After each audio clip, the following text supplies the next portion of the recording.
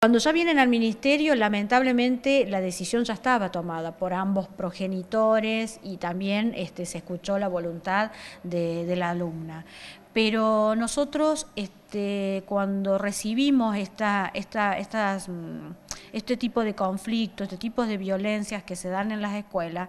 eh, tratamos de que el niño no sea apartado de la escuela, buscamos hasta la última instancia, que la última instancia sea en realidad que eh, nos lleve a tener que trasladar al alumno. Nosotros desde el programa de convivencia escolar y mediación escolar,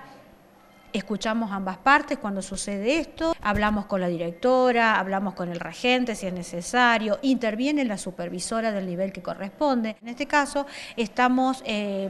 corriendo la intervención al Ministerio de Desarrollo Social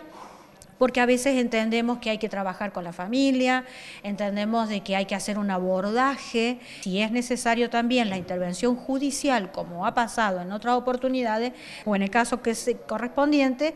hemos pedido que eleven un comunica situación, como se dice, a la justicia. Vamos a hacer una evaluación eh, eh, trimestral de la cantidad de casos que se están atendiendo y a la fecha lo que te podemos decir es que se recepcionan entre tres o cuatro casos. El ministro ha coordinado algunas acciones con el Ministerio de Ciencia y Técnica y ya tenemos una página